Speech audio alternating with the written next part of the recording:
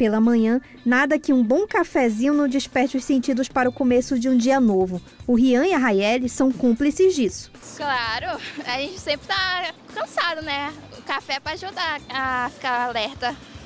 Geralmente por conta da prova também, muito estudo, aí para poder tomar um café para poder fazer uma prova até até razoável.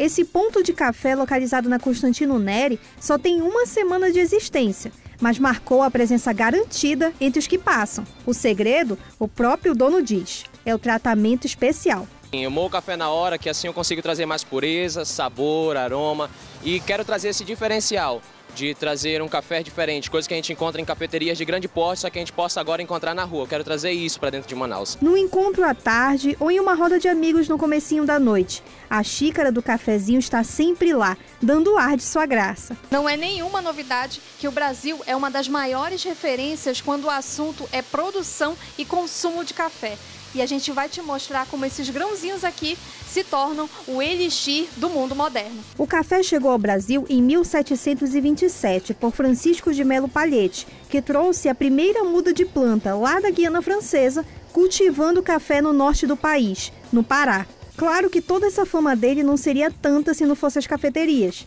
Essa, por exemplo, localizada na zona sul da cidade, a máquina não para um minuto sequer. Ah, se a televisão transmitisse cheiro, hein? Então é um negócio que cresce desde que foi inventado lá atrás, nos anos 40, onde começaram a surgir as primeiras cafeterias.